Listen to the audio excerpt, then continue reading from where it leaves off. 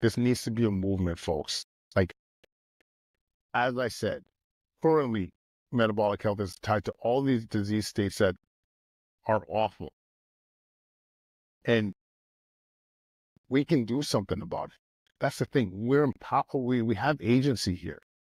And there's a lot of chips are stacked against us in many ways.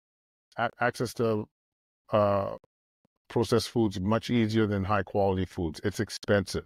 People's bottom lines are being impacted directly. Our economy is not thriving like it could be.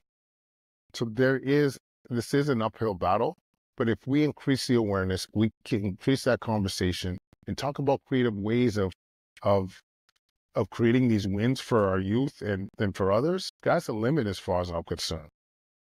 And I'll tell you this, this is what our channel is dedicated to. This is what the Kwadcast, this is what Solvent Healthcare, this is why we started a nutrition brand. I want y'all to be your optimal self, like allow yourself to thrive, not just survive, but thrive and be that guy out of strong. You know what I'm saying?